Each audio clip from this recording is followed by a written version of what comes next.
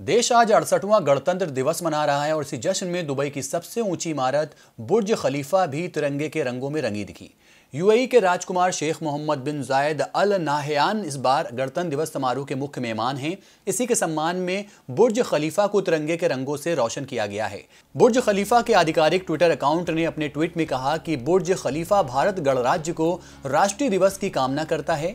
बुधवार को बुर्ज खलीफा ने पहले ही इसकी घोषणा कर दी थी और अंग्रेज़ी और अरबी भाषा में अपने ट्वीट में बताया था, आज रात हम बुर्ज खलीफा पर भारत के राष्ट्रीय ध्वज के शानदार एलईडी प्रकाश से भारत का अड़सठवां गणतंत्र दिवस मनाएँगे।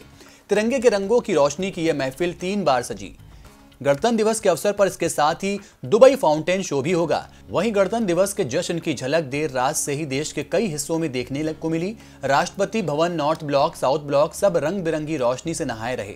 अड़सठवें गणतंत्र दिवस के लिए अहम सरकारी इमारतों को खास तौर पर सजाया गया है। वहीं मुंबई में छत्रपति शिवाजी टर्मिनस, सीएसटी और बॉम्बे स्टॉक एक्सचेंज खूबसूरत रोशनी से जगमगा रहा है।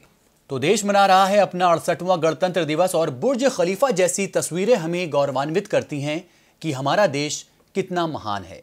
देखते रहिए डीबी लाइव।